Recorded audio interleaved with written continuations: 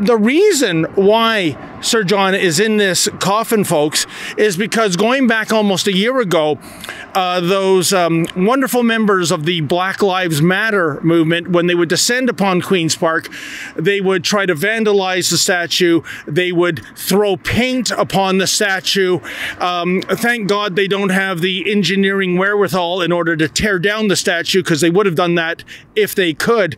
So the um, well, basically, Queen's Park bent the knee to the mob. Can you imagine? They actually decided that because the statue of our first prime minister is so triggering to these people, we will kind of quasi cancel it uh, by putting it in a box uh, away from their sight. David Menzies for Rebel News here in Toronto. And folks, I'm standing in front of Queen's Park and I'm standing in front of the statue of our founding father of Confederation. That would be Sir John A. Macdonald. Well, sort of. As you can see, there's no majestic statue here, just a plywood coffin entombing the statue of Sir John A. And it's a good thing you can't see above here because his head is shrouded in a garbage bag. Now, if you can imagine, this was done under the watch of Premier Doug Ford, allegedly a conservative, but then again, uh, we might have questions about that. Remarks of, oh, what was it again? Standing shoulder to shoulder with uh, Prime Minister Justin Trudeau. You can think back to February. Do you think that the federal government was justified in using the Emergencies Act to lift the occupation of downtown Ottawa? Well, we have some of the top officials with the OPP testifying, and uh, yes, I, I, stood shoulder to shoulder with the, the Prime Minister. It is an international disgrace that the founding father of a country would be boarded up like that.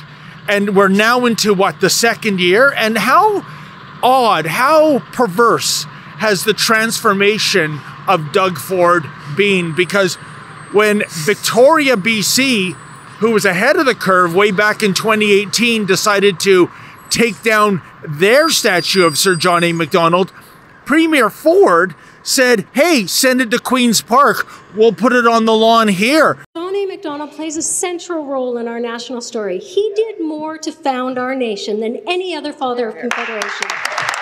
And in fact, we would not be debating here today without Sir John A. That's why our government wrote to the Mayor of Victoria to say we'd be happy to give Sir John A. a new home here in Ontario. And he's gone from that to boarding up the statue. It remains boarded up. And if you read the plaques on the side, folks, this is what it says. Quote, the Legislative Assembly of Ontario is a place for debate and deliberation on issues that matter in our province. Though we cannot change the history we have inherited, we can shape the history we wish to leave behind.